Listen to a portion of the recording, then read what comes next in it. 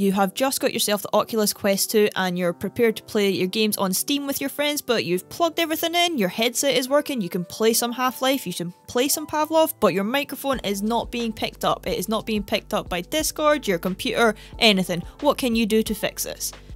Go to your taskbar at the bottom right hand side and right click on the sound icon and open sound settings. In here, your input device should be selected on headset microphone Oculus virtual audio device. After you have done this, make sure to open up the Oculus app. In the Oculus app, go to devices and make sure that your device has been recognised by the Oculus software. Then simply click on your device and ensure that your audio is set to the Quest 2 microphone or original Quest if you're using that one. Once you have done this and ensured you are on the Quest 2 microphone, open up Steam and start Steam VR.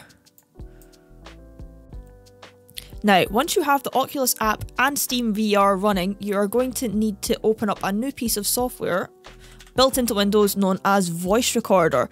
Now, if you notice here, there is, and I click record, nothing is being picked up at all. So the Oculus is not being picked up and recorded in here. So we test out our microphone and nothing here is working. So what we need to do is we need to keep this recording going.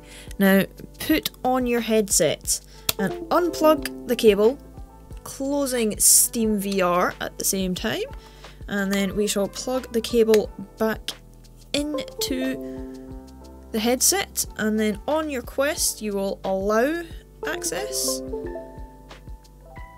to allow Steam VR, and then you'll enable the Oculus Link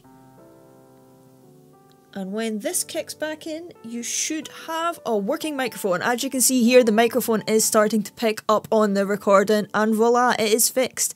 Unfortunately, you need to do this each time you turn on your PC, so that sucks, but there is at least a workaround to get your microphone working.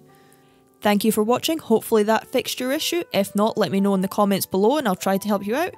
More VR videos coming soon, and if you're interested in Pokemon, check out the channel, there's a lot of stuff of that going on.